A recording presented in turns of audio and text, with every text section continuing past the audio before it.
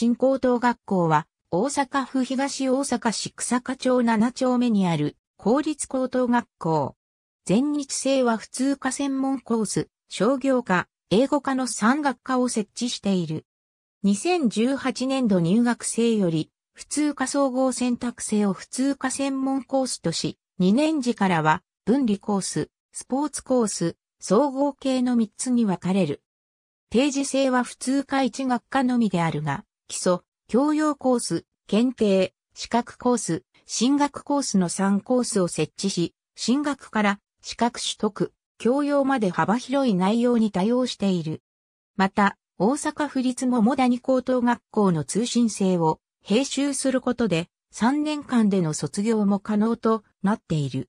定時制は2018年度入学生より募集を停止した。また、2021年3月末をもって閉課程となった。野球部は春5回、夏1回の甲子園出場歴があるが、戦後は一度も出場していない。